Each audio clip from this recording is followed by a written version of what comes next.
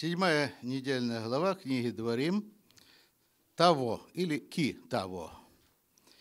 Это Дворим с 26 главы 1 стиха по 29 главу 8 стих. И Гавтара Исаия, 60 глава, с 1 по 22 стих. Так что значит того будешь выходить, да? Э, будешь, придешь, ба, я во, придешь. Итак, ты придешь, да, будешь приходить. Когда ты будешь приходить, будет ки того. Значит, Ваеги китаво эль эрец ашер ашем элагейха натен леха. Так?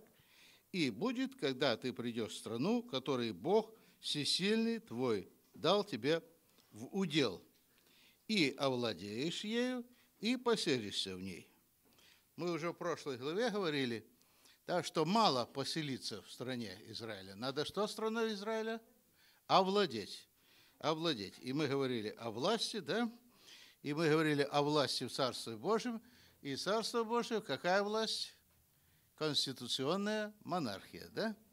Конституционная монархия. Если в обычной монархии сам монарх меняет законы, потом захочет, меняет обратно, да, то вот как, например, в Англии король или королева, они есть, но есть конституция, и они эту конституцию что? Не могут нарушить. Самое интересное, что творец конституции, творец Торы сам Господь.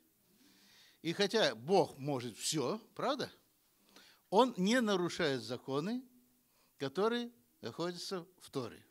Это удивительно. Тора не будет изменена, потому что об этом сказано, да? Не будет прибавлено к ней и не будет убавлено ничего. Бог не изменен. Когда все исполнится, да, когда вообще закончится и царство Машиаха придет, вот тогда будем думать о другой Торе, да?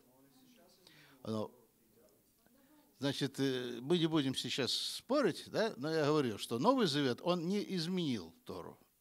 Он не изменил Тору. Что? Мы имеем лучшую жертву, да? Мы имеем лучший завет, основанный на этой лучшей жертве. Мы имеем больше благодать, но не для того, чтобы отвергать законы Торы, да? а для того, чтобы их выполнять. И законы эти даже, поскольку есть большая благодать, они становятся более, как сказать, трудными для нас, да? Если раньше было сказано, что только не делай, да, а Ишуа говорит, не помышляй даже об этом – или не повышляют там о женщине и так далее. Если более строгие законы, видите, в отношении брака и развода, да? Вот. Это не изменил, это те же самые законы, да? Но есть новое трактование применительно к Новому Завету. Если мы говорили, люби врага своего, есть в Старом Завете? Есть, конечно. И мы находили это место вместе с врагом своим, да, нужно совершать какую-то работу, и тогда враг становится другом. Вот. И любите друг друга, да? Есть это? Есть. Но любите друг друга, как я возлюбил вас. Это еще большая любовь. Еще раз говорю, это не изменило, это еще больший акцент.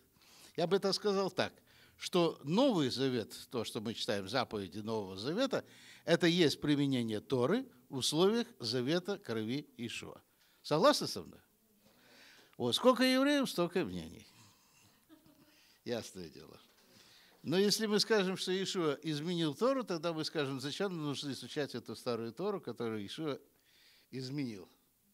Согласны? Те заповеди, которые относятся к жертвоприношениям, но евреи и так их сейчас не выполняют, правда? И относятся к храму. А когда придет Иешуа, тогда посмотрим, что с этими заповедями будет.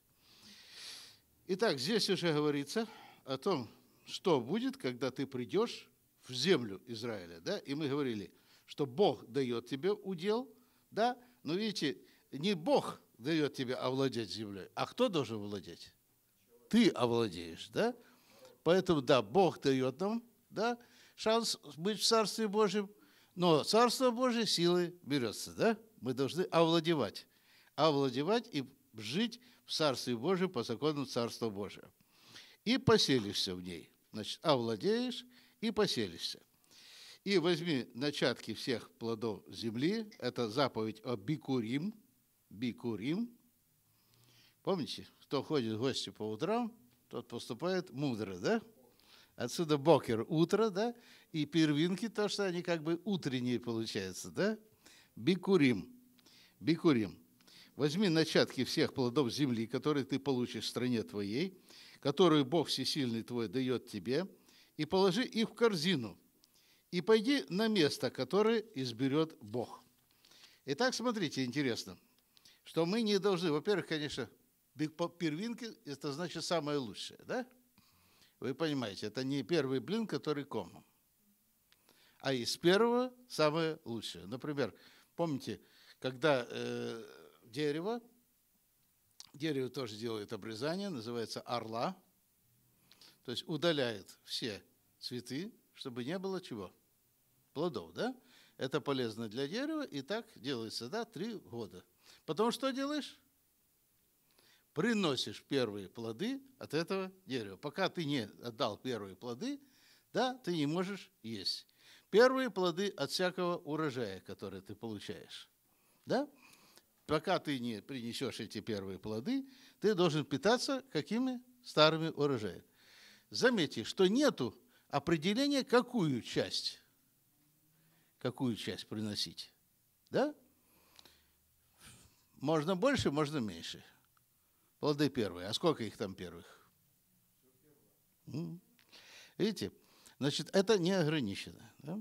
Но обычно приносит одну пятидесятую часть урожая, так считается, по еврейской традиции, по устной торе.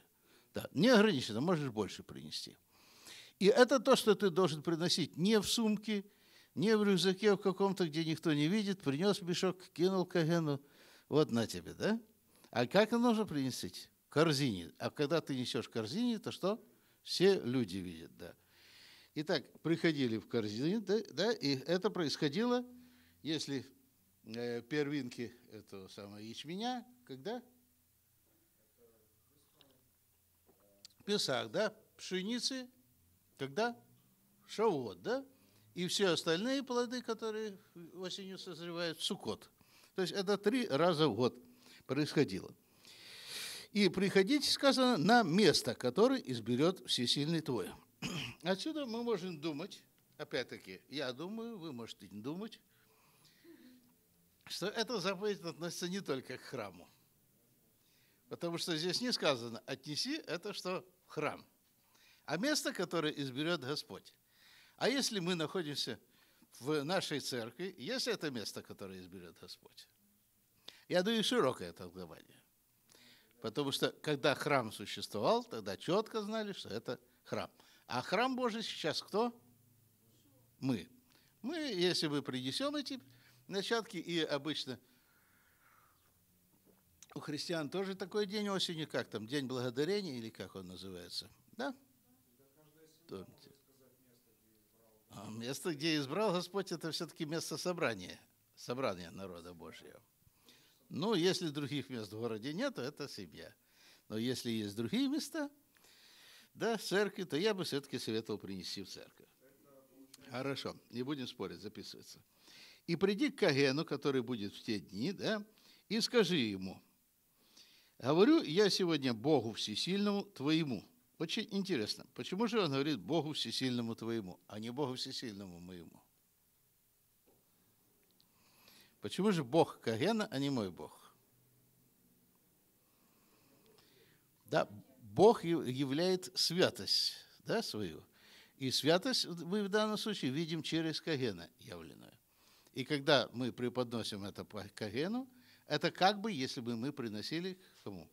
Богу, да? А если мы преподносим самому себе, то мы можем его своему сказать. Ну, я, по крайней мере, так понимаю. Дальше. Хорошо. Сейчас служения Кагена нет. Кто у нас первосвященником является? Иешуа, да? Но если кто-то из старейшин церкви, желательно, если он действительно из рода Кагена, тоже мы можем сделать. Это не есть исполнение заповеди, но нечто, которое мы можем делать сейчас, правда? И скажи ему, говорю я сегодня Богу Всесильному твоему, что пришел я в страну, которой поклялся Бог отцам нашим дать нам. Видите, пришел я в страну, которой поклялся Бог отцам нашим дать нам. И возьмет Каген корзину из рук твоих и поставит ее перед жертвенником Бога Всесильного твоего. И если я исповедую Бога моим Богом, то теперь Каген берет корзину и ставит ее как? Перед жертвенником какого Бога? Всесильного твоего. Итак, Бог Кагена становится, когда мы исповедуем его, каким Богом? Нашим Богом. Помните, твой Бог, мой Бог, твой народ, да, мой народ. Хорошо. И как брал Каген? Брал Каген вот так, двумя руками корзину, да, одну сложил снизу держал, другую сверху. Это вот очень похоже, да, на как мы вот э, на Песах празднуем, да?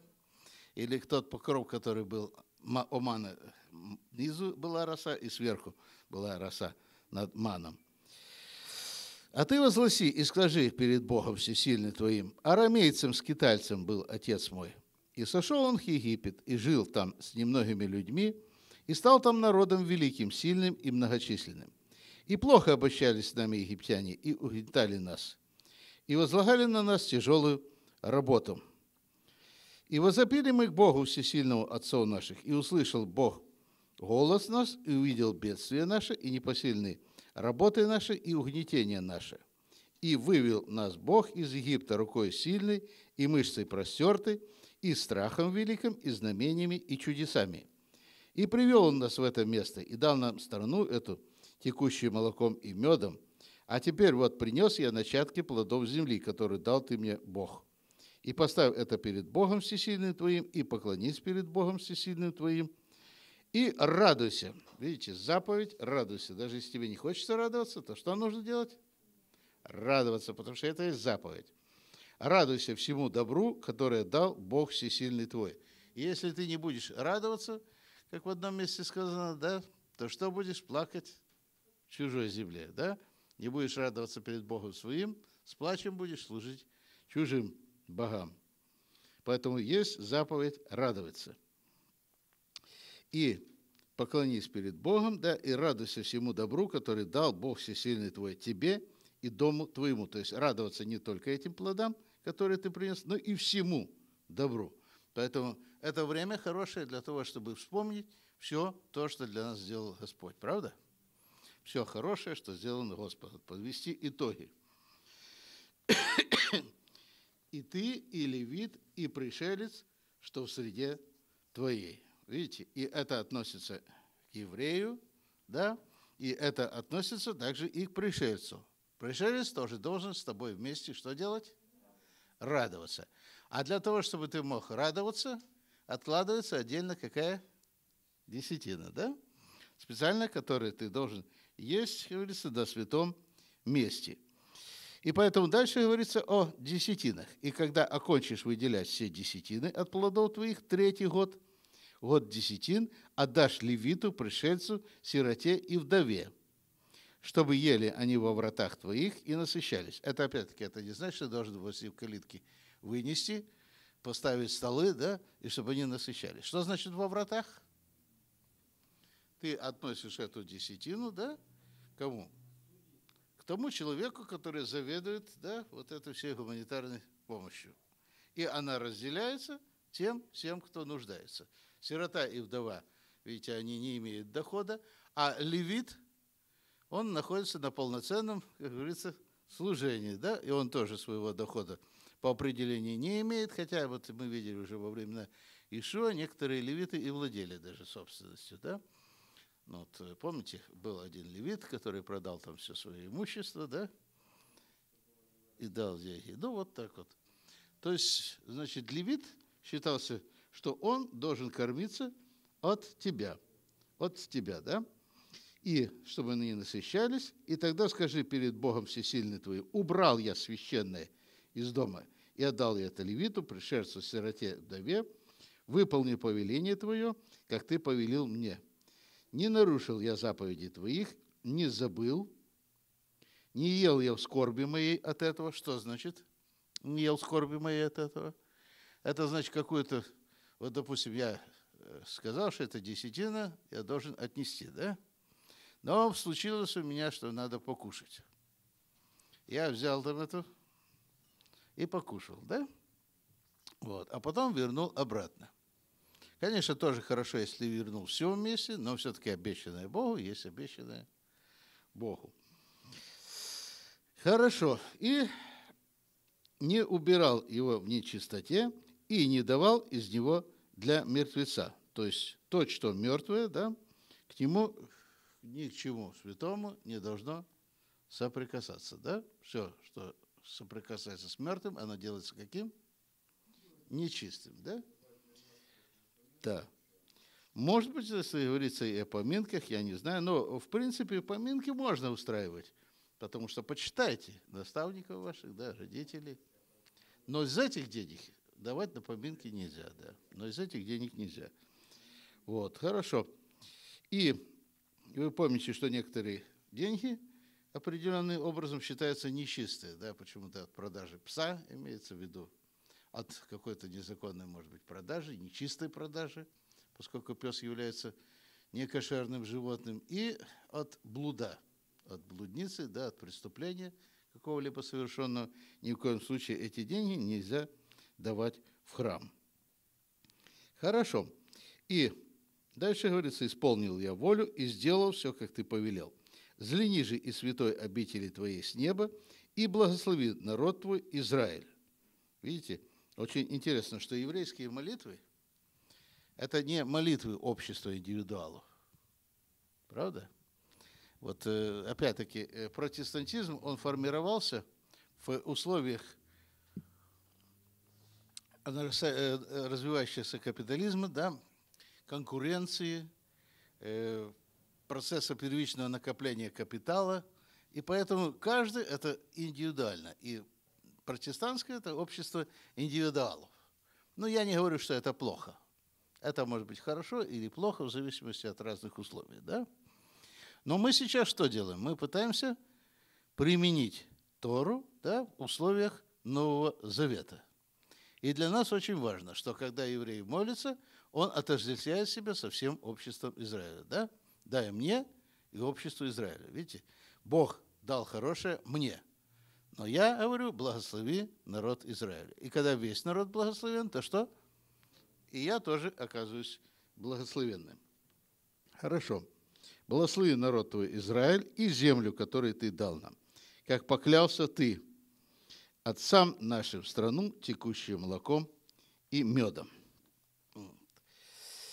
Есть некоторые особенности чтения. Э, вы знаете, что когда недельные главы делились, и это делал Эзра, и он определенным образом главы согласовывал, вот это разделение на главы, согласовывал с временем чтения. Мы говорили, что последний месяц перед Роша Шана читаются вот эти главы. И поэтому э, глава, которую мы читаем, Китово, и также последняя глава из книги Вайкра Левит Бехокатай. Они очень похожи друг на друга. В этой 28 главе, в частности, содержится что? Благословение и проклятие. Да? И они очень похожи на те, которые находятся в главе Бехукатай. Поэтому эти две главы, записывайте, да, получили название Тохеха. Тохеха – это означает выговор или наказание. Тохеха – выговор или наказание. И согласно Эзре, цикл чтения Торы синагоги рассчитывался таким образом, чтобы книга Китово читалась за некоторое время до Нового года, и чтобы все проклятия остались в ушедшем году. Эта книга говорит о благословениях и проклятиях. Можно ее читать после Нового года? Нет. Чтобы все проклятия, да, остались в ушедшем году. Вот поэтому главы определенным образом да, сочетаются. Иногда мы читаем по две главы, иногда по одной главе, да, в зависимости от того, что у нас годы бывают длинные или короткие. Чем длинный год отличается? Как говорится, беременный год. Да, целый месяц. беременный целый месяц. Хорошо. Так, э, рассказывается, что один из э, основателей хасидского движения Хаббат, Раби Шниур Залман, будучи еще мальчиком, до Бармицвы, прослушав в синагоге чтение главы Китао, так был поражен описанными несчастьями, что заболел настолько, что в Йом-Кипур отец сомневался, разрешить ли мальчику поститься. И э, когда Доубера спросили, почему в прошлом эта глава не производила на него такое впечатление, он ответил, когда читает отец, не слышны проклятия. Потому что в предыдущие годы эту главу читал его отец. Мы говорим сейчас о главе Китово. Китово, но содержит, помните, 28 глава, где находятся самые большие проклятия, да? Которые э, Бог, так сказать, обещает в случае несоблюдения Торы. Хорошо. Итак, видите, когда говорится о Бикурим, то говорится, что она должна быть принесена, да, принесена и должна быть подана руками. Вот руки в иврите – это очень важная вещь, да, яд. Руки в еврейской традиции и так далее. Вот человек, есть такие даже выражения, смотрите, может опустить руки, то есть отчаяться, махнуть на себя рукой, да, вот. Или все делается руками, и хорошее, и плохое. Поэтому говорят, руки в крови, грязные руки, да, чистые руки. Руки можно не только опускать, но и поднимать, чтобы выполнить святые великие дела своей собственной рукой. Во время сражения с Амалеком при исходе из Египта Маше поднимал руки, и евреи что? Побеждали. Когда руки тяжелели и опускались, тогда инициатива приходила к Амалеку. И когда Каген благословляет народ, он поднимает руки – я вам завтра постараюсь там небольшой фильмик показать о храме, да, и о благословении Кагена. Да, вот то, что ты, я думаю, да. Вот, поднимает таким вот образом, да. С одной стороны получается буква Шин, да, и похоже на корону, на корону, когда Каген благословляет таким образом народ. И обычно 10 кагенов берутся, да, стоят они босиком, и они должны благословить народ. Вот. Руки дают цдаку пожертвования. И говорят, мы протягиваем руку дружбы и помощи. Вот поэтому еврейская традиция запрещает кого-либо бить да, рукой. Вот. Если палкой там, или чем-то, а рукой можно только что благословлять. Да, рукой, рукой нужно благословлять. Но были и еврейские боксеры, все было. Но еврейская такая традиция еврейская традиция говорит. Хорошо. Итак, почему же мы сдаем десятины и бикурим? Мы знаем, что сам Бог да, в этих деньгах не нуждается.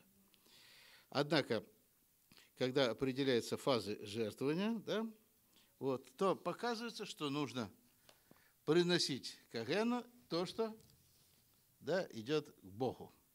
То есть такой принцип предназначен к Богу, а кто получает? Люди, да? Получают люди. Поэтому говорится, приди к священнику, который будет в те дни. Хорошо.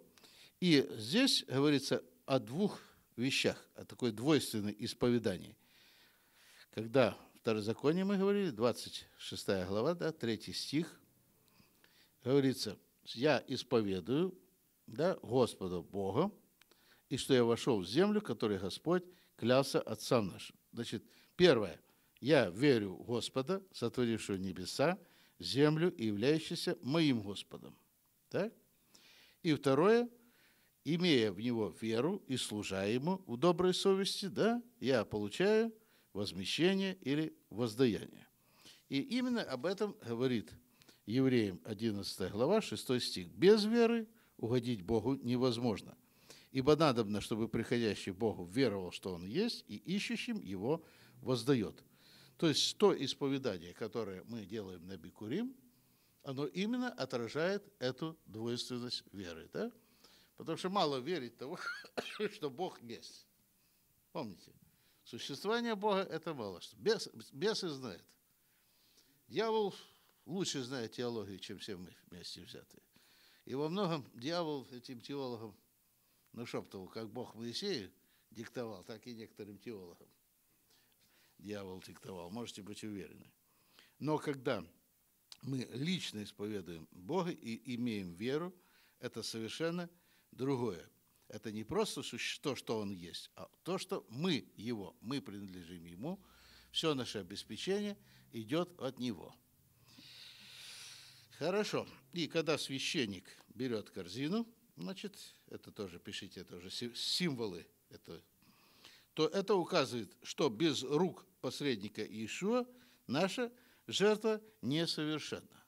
То есть мы приносим, да, и кому передаем? Священнику. А священник станет перед кем? Перед Богом. То есть без рук священника, да, наша жертва не полная. Без рук посредника Иешуа наша жертва несовершенна. Хорошо. И когда рассказываю историю, что отец мой был странствующий арамеянин, то есть получается, где я был и чем я стал, да? Перке а вот сказано, помни человек, да, откуда ты пришел, что и куда ты идешь. И тот, кто помнит, откуда он пришел и куда он идет, он что не будет решить. Потому что он постоянно помнит, что весь его путь с кем? С Богом, да? Мы можем куда-то укрыться от Бога? Никуда, никуда. Даже если мы в ад пойдем, и все равно там немножечко Бога есть. Немножечко, мало, правда, Бога, но есть все-таки. И когда говорится «веселись», да, вот это заповедь «веселись». И это учит нас. Видите, все заповеди, они нас учат. Что отдавать надо что? Как? Радостно. Да? Отдавать надо весело, отдавать надо радостно. Хорошо. И когда мы отдаем радостно, а не в печали, вот, как будто отдаем для мертвого, да, то мы получаем благословение. Благословение. Хорошо. И когда сказано, значит, я не ел от нее печали моей, я повиновался голосу Бога моего, исполнил все, что заповедал мне. Потом говорится, презри, презри. А здесь употреблено интересное слово, которое э, шукав. Шукав. А украинское слово какое? Шукай. Вот, презри, то есть обратите внимание, да? Презри меня, Господь. А в данном случае шукай, Господь. Шукай, Господь, во мне, да? Меня и во мне. Шукай. И э, еврейское слово шук – рынок. На рынок мы идем для чего?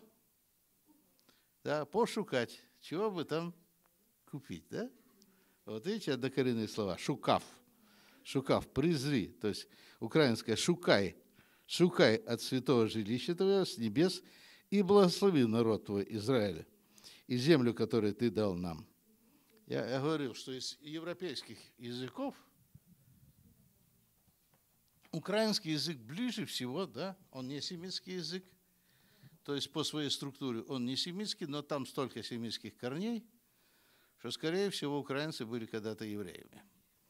Я вам говорил, что поляне – это, скорее всего, были евреи. И в летописи после крещения Руси да, исчезают поляне и появляются жидовы. Да. Украинцы. Вообще, знаете, кто такие россияне? Это евреи, живущие в России, они называются россияне. Хорошо. Итак, это показывает, что как бы обновление завета, который ты был призван. И наша задача быть верным Творцу. Быть верным Творцу. И дальше говорится о таких вещах, да, как благословение и наказание. Возникает вопрос, почему же, это я беру из э, книги Рава Ицхака Зильбера «Пламени полит тебя», Возникает вопрос, почему предсказание об изгнании евреев из Эрец Израиль содержится в двух местах Торы? 26 главе книги Ваикра и 28 книги Дворим. То есть э, вы знаете, что в Торе нет ни одного лишнего слова, да? Почему же эти вещи повторяются?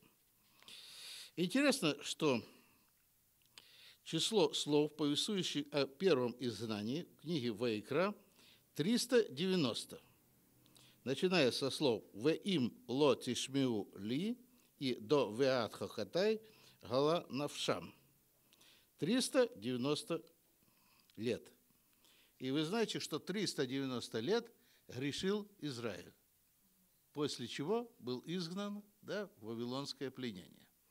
Число слов и всякие буквы, и всякие слова имеют определенное значение. Да? Мы не такие каббалисты, которые выводить что-то из чего-то, чего там нету, вы сами понимаете, да? Вот, но это для нас тоже интересно размышлять. И в Торе упоминается «Вайкра и разрушу солнечный кумир не ваши». То есть есть указание на то, что все эти доказания идут за что? За идолопоклонство. Но во времена второго храма идолопоклонства не было. И наоборот, видите, они что, отцеживали, как там, комрада и оставляли верблюдом. То есть, когда пришел Иешуа, для них это показалось каким-то отступлением от веры. И поэтому Иешуа не был принят. Да? И второй храм был разрушен из-за чего? Мы говорим, из-за беспричинной ненависти. С одной стороны, это беспричинная ненависть евреев друг к другу, и с другой стороны, и прежде всего, беспричинная ненависть к абсолютно безгрешному и святому Ишуа Мессии. Правда, то, что делали с ним, оно даже ну, не вкладывалось вот такая действительно вещь. Его сначала судили, били римляне. Но вы знаете, что согласно римскому суду нельзя человека наказывать дважды, да? Если его побили, значит, его не должны были распинать. Если его распинали, то что его? Не должны были бить, правда? То есть делали и то, и другое, и все это было абсолютно беззаконно. Да. Абсолютно беззаконно. И видите, э, что сказано? Пришелец, который поселится среди вас, будет возвышаться над тобой все выше и выше, а ты станешь опускаться все ниже и ниже. Дворим 28, дробь 43. Кто же эти пришельцы? Римские чиновники, переселившиеся в Эрец Израиль. Они постепенно захватили все ключевые позиции в стране, вытеснив из них евреев. Помните, как произошло вот эта дружба с Римской империей, которая закончилась весьма печально. Мы уже э, говорили, что часто некоторые правители призывали к себе на помощь да, какие-то чужеземные войска, и это печально заканчивалось. Вот историю вандалов изучали, правда? Или турки в, э, э, в, э, в войне с Византией, с Болгарией, значит, византийцы пригласили турецкие войска. Турки победили болгар, но потом увидели все богатства Византии и тоже что? Решили себе все это заиметь. Вот так и это, когда боролись с Антиохом, это уже был Антиох не четвертый Епифан, а Антиох шестой, он собирался идти на Израиль. И тогда евреи попросили помощи у Рима. Рим к тому времени уже набирал значительную силу. И римский легат, то есть чрезвычайный посол, он обратился к Антиоху VI, а было это на берегу моря, на песочке, когда они там прогулялись вдоль берега моря. И он сказал, Рим очень отрицательно смотрит на то, что ты собираешься вторгнуться в Израиль. Значит, ты должен прекратить свою экспансию. И тогда Антиох сказал, говорит, я подумаю. Легат взял палку, трость и очертил вокруг него круг. Говорит, думай, пока ты стоишь в этом круге. И тогда он сказал, хорошо, я не буду идти. И вышел из круга, да, не буду идти на Израиль. И после этого Израиль оказался под протекторатом, что значит под протекторатом, под защитой Рима. Но постепенно Рим набрал столько власти, да, что когда умер Ирод, началась гражданская война между братьями, потомками Ирода. И тогда римляне что сделали? Разделили территорию Израиля на четыре части, да, и ввели свои войска. И так, видите, получилось, это тоже было исполнено. И поднимет Господь на тебя народ издалека от края земли, как орел налетит этот народ, языка которого ты не поймешь. Опять-таки орел, орел, значит, это что? Это Рим, да? Орел, это Рим. Значит, и говорится о народе наглом, который не уважит старика и юношу не пощадит. И вы помните, что римляне были очень гордым народом, да? Поэтому здесь уже говорится о каком рассеянии? О римском рассеянии. И вы знаете, что это греко-римское рассеяние, оно еще не закончилось, правда? Потому что вся наша культура, она тоже базируется на римской культуре. Итак, будут благословения и будут проклятия. Я сейчас, уже у нас мало времени, чтобы говорить. Значит, но есть интересно, что произносимые проклятия являются как бы противоположностью благословениям, обещанным тем, которые соблюдают Тору. Но даже, но даже в проклятиях еврейские раввины находят определенное благословение. Даже в проклятиях еврейские раввины находят определенное благословение. В частности, там, где говорится, что будете есть плоть сынов ваших в нашей книге, да? А евреи говорят, что это благословение. Будете есть мясо сынов ваших. То есть мясо, которое ваши сыновья будут вас кормить. Чтобы вы поняли, что есть разные, есть разные трактования. Ну, хорошо. Так, пять минут прошло, да? Хорошо. Значит, сделаем перерыв.